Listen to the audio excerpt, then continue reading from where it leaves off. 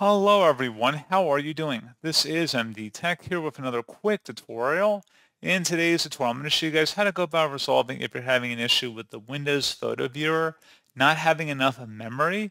So it might say Windows Photo Viewer can't display this picture because there might not be enough memory available on your computer. Close some programs that you aren't using or free up some hard disk space if it's almost full, and then try again. So this should hopefully be a pretty straightforward process here, guys. And without further ado, let's go ahead and jump right into it.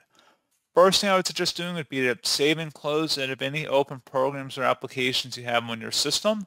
And then you want to open up the search menu, type in disk cleanup, best match, should come back with disk cleanup. Go ahead and open that up. Select OK, and then select delete files. Give that a moment.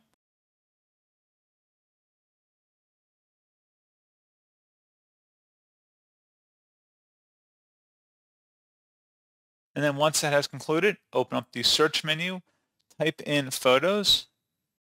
You want to select where it says app settings on the right side. Scroll down underneath reset. If the app isn't working right, we can try to repair it. The app setup won't be affected. Select repair and give that a moment. And then once that's done, I would suggest selecting the second option here, actually resetting the Photos app. And then close out of here. And then you want to restart your computer.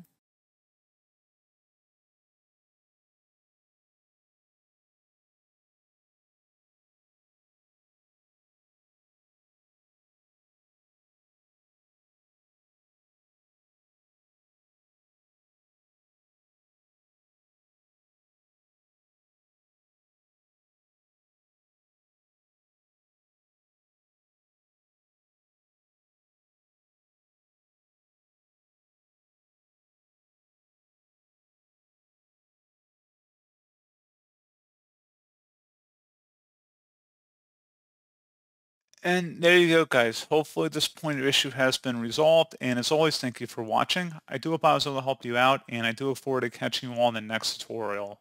Goodbye.